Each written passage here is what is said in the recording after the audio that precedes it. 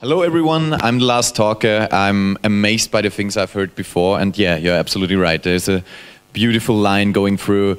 Uh, I was like checking, I was playing bingo. I was like, oh, damn, I also have one of those slides. Oh, God, transportation. God, I have to mention this from a different angle and so on. Really great stuff. I hope that I'll draw another line in here and, and accommodate the things that have been said already about artificial intelligence and give you a new direction, maybe something that we have been working on. We had a two year FFG uh, project where we researched a lot in terms of natural language processing and uh, triggering workflows from that and I'll dive a little bit into that and do a couple of demos. So maybe something will break down, which will also be a lot of fun for everyone involved.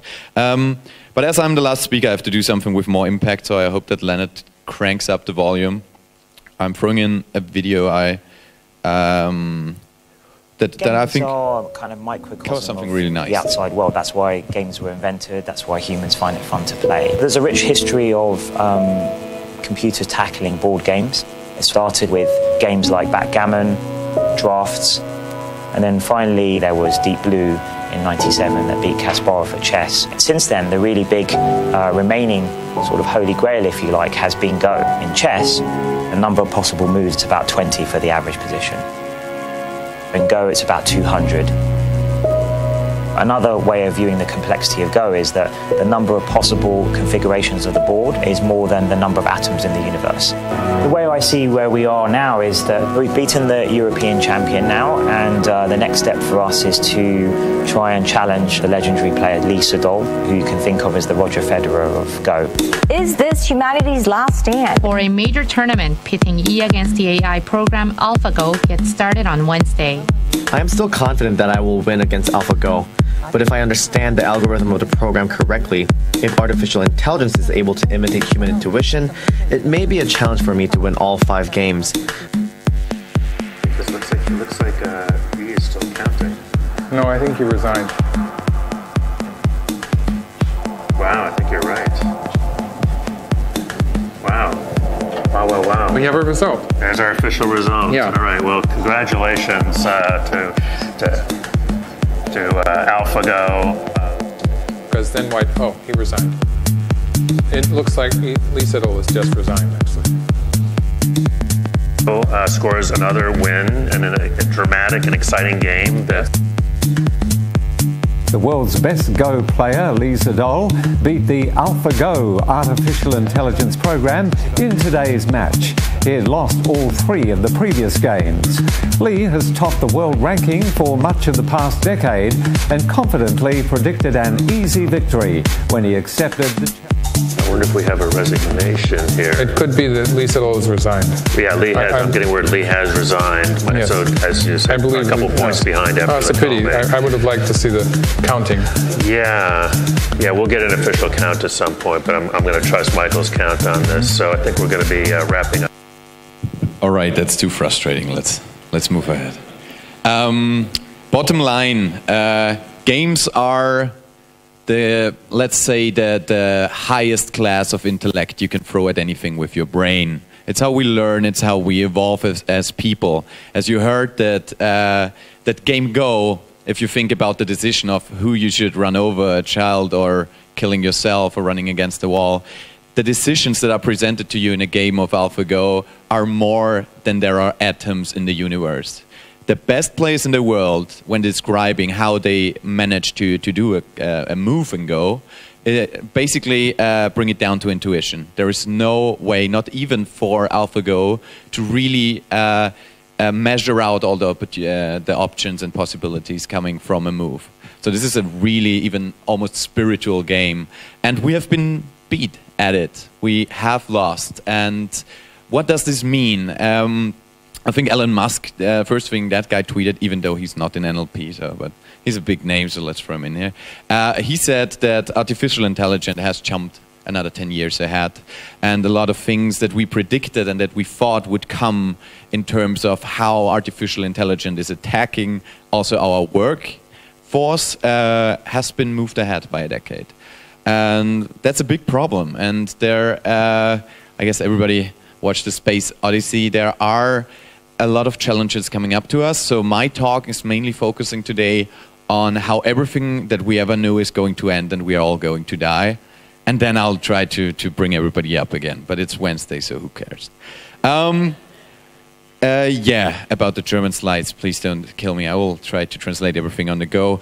Um, there has been a study conducted by Frey and Osborne for Oxford uh, looking into the different jobs that are uh, at risk um, in the next 10 years, basically.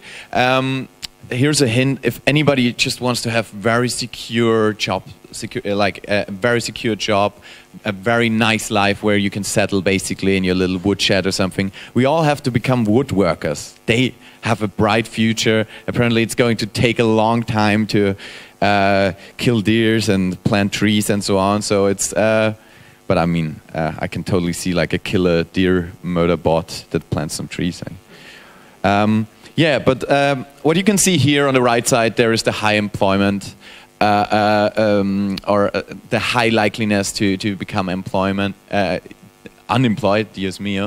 Uh, transportation is the biggest one. I think we've uh, talked a lot about this already. There are trucking companies already being set up, and I want to give a broader view on what this exactly means. Um, while this guy is driving an Audi and feeling really comfortable not holding the wheel anymore, there are around 14 million people working in transport, so more than 10% uh, uh, of the whole US workforce, uh, non farmers, uh, of course, farmers not included. Um, the connected industries are also uh, highly at risk. So, for example, in trucking, you have 7 million people uh, driving trucks at, at, the moment in the US, but only 3.5 million are really sitting inside of a truck. The others are working in garages or have to put uh, packages inside and so on. A lot of logistics are, of course, lost because uh, there are some things you just don't uh, need to calculate in anymore.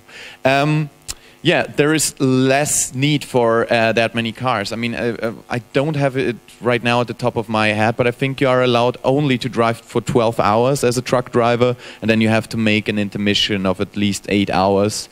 Uh, um, at the moment, there is a very strict law in Europe, for example, meaning uh, uh, there have been different estimations, but around 20 times less cars are needed just in terms of, of moving stuff around. Just think about the cars that just are not going to be sold anymore in terms of like car manufacturing companies and so on. How many uh, also uh, um, how much employment around um, uh, fixing cars uh, and so on. How many park houses are at a loss? Of course, these aren't all factors that we would count in as uh, maybe all too needed or too important, but that's not how it is. The, there are people working day and night on the in those facilities, and then these uh, jobs. It's really hard to translate this on the go. By the way, I'm sorry. Um, another thing which is also at, at risk are uh, less work in hospitals uh, at least 2 million of injuries in the US are due to uh, car accidents and so on. If they are reduced and if the cars somehow uh, manage to uh, run over less people, there's still, uh, there's still less work coming in in a way. And uh, of course, there are indirect changes uh, by uh, just the general AI economy being blasted with trillions of dollars by people uh, like the car industry throwing no money in this area. So there are a lot of indirect factors that contribute to a general movement of the AI scene uh, moving up. I want to also uh, roll back a little bit and not throw that many numbers in. I love these slides because I can just freely speak. Um, there is a story of me. I've, I've been a couple of times in San Francisco, and I've uh, I have a friend there who works for uh, a prediction algorithm company, one of those things with uh, very long names that fill a whole house, uh, a whole skyscraper somewhere in the uh, um, in the city center of San Francisco. Um, but the basic bottom line is they. Um, they used certain algorithms to predict how the stock market is going to change, and then there was a floor that had to check if those predictions somehow seemed about right, and then fill it in. And so they basically invested, and that was uh, the thing they did. So uh, one evening he came home and, and uh, uh to the motel I was staying in, and I was like, uh, let's call him Ben. Ben, uh, what's going on? How, how's work doing? And he was like, well. I was working for the last months on a an algorithm that basically is going to put uh, uh, this whole thing where we switch over from the predictions to the stock market is going to do it automatically based on uh, the less uh, the, the, the recent predictions and how it turned out. And I was like, so, so you basically, like, this guy is working in IT, right? These people seem to be secure for the next few uh, uh, decades. And he was like, well, um, so, so I practically finished and my whole floor doesn't do anything anymore. I was like, so what did you do? And he's like, I went to the top floor and I'm, I started to build a table because um, I really always wanted to do uh, to build one, and it always uh, struck me to do something with my hands. And I just want to give you this picture of somebody replacing around hundred people on a floor in IT with an uh, AI-based uh, uh, algorithm that uh, goes up in Silicon Valley on the on the top ceiling and starts to build a table. It it goes all back to woodwork, I guess, to in some way. Um, so what can we do against this? How, uh, where's the Terminator in this whole uh, machine uh, uh story and this whole horror scenario? Um, there is intelligence amplification. And the basic definition or the basic idea is that uh, in contrary to AI doing autonomous work um, around a human without human interference in uh, in the best uh, uh, scenarios, IA is uh, supporting or using algorithms in similar areas to support the uh, human intellect and eliminate redundant tasks. Um, I'm going to dive in a couple of them. I think one is always funny, one that everybody, or at least Oh wait, wait, it's IoT, so I guess 30% have it in their pocket. If my phone doesn't die on me, uh, I guess everybody knows Siri or Cortana, right? So you can basically ask Siri something, something that you could have done in your phone anyway um, for a long time. But uh, something that everybody should ask once in their lifetime is, let's connect me with the internet. There we go. Maybe you've seen it before. Siri, Siri, what is 1 trillion to the 10th power? Did it work? Give me a second. It tries. It wants to update now. so every every Android dev is now like, uh, yeah, there you go. Siri, what is one trillion to the tenth power?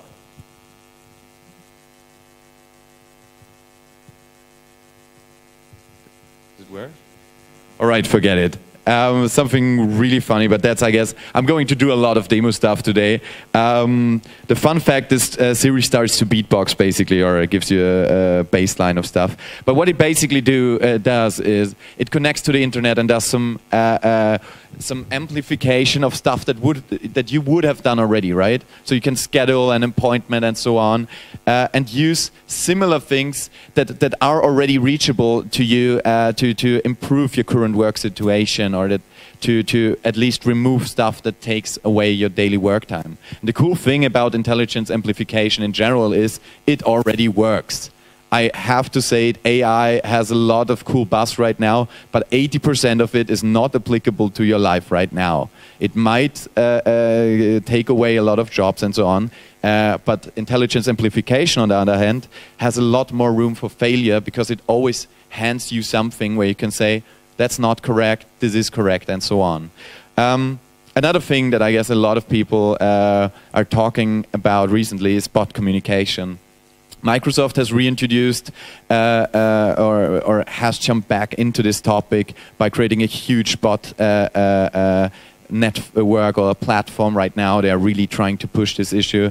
Atlassian is doing the same. IBM Watson is also diving into this. And Facebook uh, recently jumped on the bandwagon again as well. And so I tried out Poncho recently. I wanted to do a demo here just to look at the the uh, vast opportunities that you can have, but it kept asking me uh, about South Africa, and so I didn't want to show it anymore. But in general, the the the, the things you can do with those uh, intelligence amplification tools is you can completely uh, uh, uh, assist yourself in the stuff that that you or that that anybody that starts their work at your company on the first day and all those redundancy has to be removed if we want to eradicate the threat of us uh, losing our jobs. Another one is uh, something where nobody loses their jobs, which is also always good to, to mention. The LAPD had a big problem. They have around 10,000 people uh, employed at the moment, and uh, there are a couple of departments that are completely split up, and I want you to think about this for a moment. They're, they have car plate scanners that on the go scan every car that passes them to see how uh, uh, drivers uh, uh move around during LA. Um, completely disconnected from the other uh, uh, workforce, right? They have 911, 911 calls are not put or weren't put in 2010 on uh, a global network or anything like that. They were physically printed out and had to be handed over. So think about this: you are somebody investigating uh, a bigger uh, uh, uh crime, and you you had to wait a couple of days for them to physically print out the communication they had. Then there was motor vehicle information, something located somewhere else as well and then the field interview data. So when you were uh, talking to witness, uh, witnesses and so on, you were uh, having another data set, and all of this was completely disconnected. So they built uh, a task force that was uh, assigned to, to, to work exactly on this process, improve it, and um, this is something that falls into the ca category of IA because it not, uh, doesn't do something or autarkly or something like that. It needs still human input. It needs assistance, and that makes it a lot more efficient. Uh, uh, makes it a lot more efficient for us in the present. And um, there was a scenario: uh, somebody got uh, murdered on a crime scene, and uh, uh, recently, and the, the, only thing witnesses knew was it was a white Cadillac, and they remembered three numbers. And based on this, uh, the, the tool they um, employed and based on the data they uh, brought together, they were able uh, to find a white Cadillac uh, close to the approximate crime scene and uh, uh, um, were able to catch the, the murderer three days, I think, after the crime scene. Stuff that completely fell through the cracks before that. Um, and we are also invested a little bit in the IA thing. It's nothing too big. Uh, we are trying to understand what uh, people are saying during a communication, uh, uh during a conversation. So if I, for example, want my colleague Leo, um, I know, call the IoT team, something you would say. It's really hard to type with five fingers. You call the IoT team, number is, let's say, oh, and so on. Um, what we would understand is what he's saying, and we would provide certain actions to it. So uh, the intelligence amplification here is simply uh, actions popping up and workflows that can be triggered by it. Or if you say, for example, uh, meet me um, on the, let's say, 26th of Jan, and you can write it in any way. It's of course a machine learning uh, uh, uh, tool that um, that gets better the more you throw at it. And the cool thing is, if you if this were an AI project, we would try to completely do it automatically, right? But we always present a button. We always have room for choice, and this also means we learn a lot more from it, right? If somebody ignores the button, or if somebody decides to to not follow up with an action that we provide them with they are capable to, to they, they are still uh, uh, giving us information to learn from and that's something I think uh, it's somehow the let's say it's like the helping wheels uh, on the on the bike that is called AI right now, and it's really the one thing that is feasible and allows us to make broader moves and broader decisions. Sorry, I forgot to type this out, and everybody's waiting for this. Um, it basically um, yeah allows you to create a calendar, for example, jump to your calendar tool, to Outlook or wherever and set up a calendar and have everything pre-filled that is uh, can be derived from it. It also allows you to to understand stuff like uh, the classic things: Are you there? Or like uh, noting what kind of question it is, if it is a yes or no question, if it's actionable or not, or one of the most important questions in life, I would say. Um, something like that, so you can like create a poll and so on. Um, yeah, um, that's that's uh, the basic drive. I think the ba basic thing you can take away from this is there is a big uh, uh, change coming up, and it's it's at our doorstep. And some of the biggest challenges, of course, the the thing is, right? AlphaGo can beat you at Go, but they cannot go out and buy groceries right away. So the applicability of all of this is really, it's always really narrow. But this will change as we progress. And one thing that we can do is we can make bolder moves by going into intelligence amplification and uh, um, do a lot more and uh, invest a lot more in this area where we can get already results and also something important where we can involve the public already if you do uh, uh, if you have an AI project, you can do this in a B2B environment. You can uh, do it in a really closed area. But if you want to make a consumer product, always think about how you can involve them in a way that is still not unsettling to them. And if, if you have some way of intelligence amplification that you can apply to this, go down this road because you will learn a lot more and you can create value today in terms of uh, uh, what you can offer to them. Yeah. Um, in general, I think uh, the way we're uh, heading or the, the direction we're heading at is great. Uh, I, I really don't think that a human is at the top of their capacity if they have to drive between Graz and Vorarlberg their whole life. I really don't think. I think uh, everybody deserves more. I think the most important question is who is going to benefit from the new automation. Um, we were a lot uh, uh, we had the same discussions, I guess. I, I wasn't alive in the industrial uh, uh time period.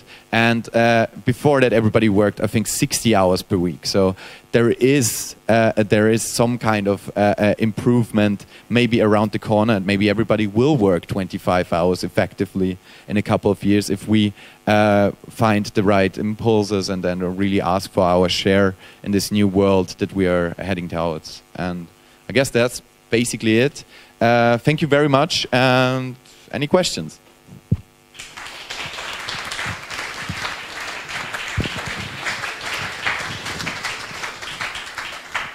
So,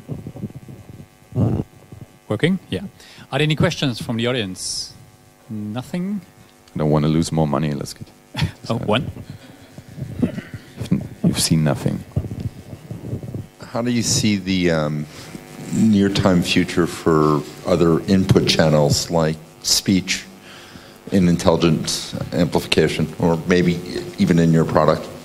Um, in general, I think uh, getting getting the sentences out of uh, uh, or, or, getting the sentences into a machine, like through through voice input, is something that has been solved already to a certain degree in certain languages. Right? Uh, there's a huge data set uh, that, of course, every like the Apple has in terms of Siri, right? And uh, there are some some uh, APIs even in the market that would allow you to build anything on top of this uh, within uh, half a week. And so, um, deriving anything like the heavy lifting here is more like understanding uh, the speech act, right? So, understanding if this, if somebody uh, um, asks a question, if somebody assigns a to do to somebody, and so on. So, the heavy lifting is out there already, and the matter of input is something that has been solved to a certain extent. I absolutely agree that, or I, I guess uh, your your uh, um, I cannot speak for you, but I guess there is still room for improvement, right? And everybody agrees on that. I mean, I also struggle with Siri occasionally. I guess I did just I uh, like 10 minutes ago. So um, uh, I don't think the input will be the problem. Uh, we have enough data uh, for that. We will have to understand uh, clustering a lot better. Every human speaks differently. One of the biggest uh, problems, even in human-to-human conversation communication, is what the other person really means and uh, that's a notion that uh, human can't predict and machines tend to be a lot more explicit and will uh, if they can ever uh, develop frustration i think it will be in the process of this. Any other question? Oh here we go. Is there um, like do you have an idea what um, the discrepancy in well in different parts of the world in the reception of um, these new possibilities is, I mean, for example, there's a bunch of people who really don't enjoy talking to their phone. uh, like they, they'd rather maybe even, you know, use an old version of Google, just because they.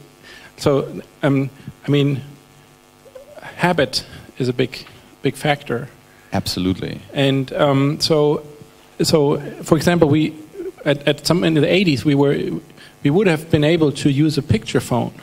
The, the technology suddenly was there to use picture phones. Nobody wanted a picture phone, and maybe um, is there maybe do you see some sort of uh, margin of top-notch technology on the one hand that we could use and that it would be so much better, but in reality we don't want that, and there's like another margin which of, things we do want, and um, like if we realize that, that would be good because then we would actually be able to see what we can sell. I and um, I, how far off is that other margin from the, the top-notch margin? Sorry for talking over you. It wasn't out of uh, disrespect. I was just amazed. These were three awesome questions, and I'm really it's really late. So I'll, you have to tell me again if I forget one. Um, so the, I think the biggest one, uh, uh, um, or, or, the one, uh, um, it's really, really a pushing one is how do you change society in general, right? Um, I think the last biggest uh, uh, billion dollar uh, fail in that regard, I guess there have, have been someone away, was the Google Glasses.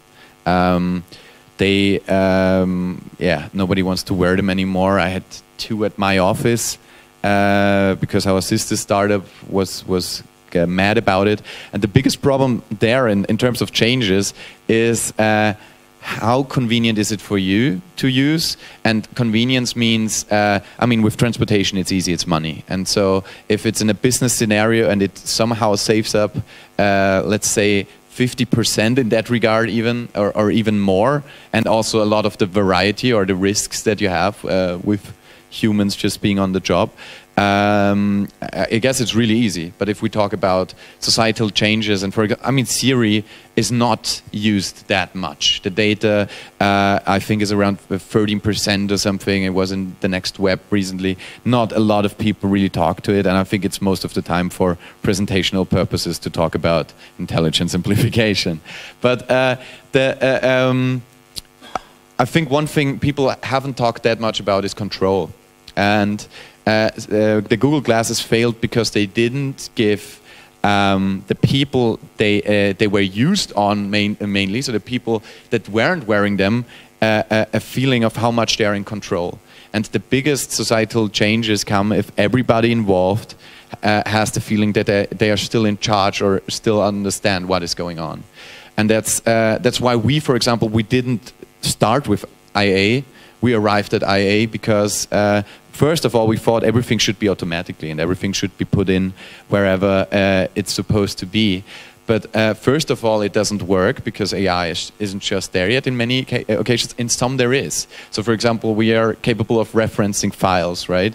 And the beginning idea was if you talk about any document, we just attach it and people were running mad about it and they asked us if we are listening to every sentence they say and if we have like some assistant sitting in a cellar somewhere typing it out and searching for it and so on. And it was more convenient to them to press a button to receive the information. And so uh, where i uh, um, uh, the short version would be i think uh, the biggest reason why ia uh, is capable of moving forward uh, this whole discussion even is uh, because the people involved that are using it feel more in control because they always get some kind of feedback and can decide if they want to use it. And uh, that it, it, takes out one variable out, uh, out of the process, and this is fear. And fear has to be removed first. And there were two other questions. You have to help me, or we have to. the other question if if you visualize this margin like in percentage, like suppose 100% is like what what you know the the best technology can do, and uh, where we are would, behind. Would the other margin be that can actually be used and, and that it's actually accepted? Okay, so the variable of how much is out there that has been accepted is around 1%. And it's uh, just because the, uh, uh especially in, when it comes to technology, uh, uh no, I think 1.3% because these are the, uh, how do you call it, the innovators, right? After that, there are 13.6% of, um, let me roll this out, I have it somewhere. Um, it's funny to just improvise and, and drag it out, but I recently looked at this. I think I can find it on the internet, or maybe I have it in a presentation somewhere. But it's basically the concept or the question of how many people um, are. I think it's yeah. There we go. Um, uh, how many people are really jumping on it? And I would uh, follow this mass phenomenon to to maybe describe it the best. And it's that that thing, right? It's something that the innovation adoption life cycle and it, it, it says 2.5 percent. Okay, uh, was off. Well, uh, forget it. Let's run it down. 30.5 uh, percent uh, pick it up. Then the early majority arrives somewhere, uh, now we are at the late majority with Facebook, for example, and uh, now based on technology, uh, just technological limitations, we arrive, uh, for example, in India and so on, and, and other uh, emerging markets where in the beginning Facebook wasn't focused on and wasn't, uh, and just infrastructure wasn't allowing it. So I would file it, uh, file uh, especially the focus where, where Facebook is now operating the most or growing also the most, uh, would be the laggards, but just in terms of, not in terms of how prone they are to technology, but just uh, how easy it is for them to adapt it, right? Um, by the way, something really interesting, Facebook in, uh, brought in a day of slow internet to their week so they can completely focus on uh, emerging markets and then have all the developers use Facebook when it's slow as hell. And uh, this uh, led to a lot of crazy cool improvements in terms of compression and in terms of stripping down functionality. Okay, um, I know there's one question. Is it a really short one? maybe, maybe you can just make it uh, bilateral then let's let's make it that you can only ask it in one sentence and I can only answer it in one. Sentence. Oh, sentence. that sounds good. I don't know if you can answer in in one sentence, but I. That was the sentence. I will. Uh, I will try to to reduce the question. What do you think about the acceptance of this? For example, there is a project which uh, is open source, and I, I don't know if you know it. It's Zeitgeist in Linux, which uh, tries to enable a semantic desktop. Mm -hmm. And it, it dies because the, the, the, people don't accept it. I have to add some, something to it to find it. I, I would love to, also for the other people to software. All right. Um, okay, one sentence ask, answer. Um, Innovation applicability is based uh, first on revenue, as I stated uh, in our conversation. So um, adaptation will lag behind um, in, in, in, in the consumer market. But now, and, and that's the problem with open source projects because they don't have necessarily the money to lift it up and bring it into a B2B scenario. But this is where something like that is applicable now and where they also actively look for it. So you know what I mean? Like uh, if you have an open source project, um, you you you uh, sometimes have uh, uh it it stays in a very um, universitary level until it get it gets picked up by a larger company. And um, this doesn't mean necessarily that's nothing against open source projects, but it, it always has some derivance uh, at some point where, for example, a company picks it up and then brings it into one of those mm. Uh, uh, um, CIO departments and then rolls it out with them. But it's something maybe that would go back and forth for long. As a, yeah. Let's talk afterwards about it. I mean, we are going to have some uh, uh, talks about um, open software and open hardware pretty soon. So we're just in the preparation uh, stage. So um, if if somebody else is interested, just uh, follow our newsletter. Don't forget to sign up for the newsletter and get the, the latest information about our next events. But uh, very, thank you again, Felix. It was really interesting. Thank you.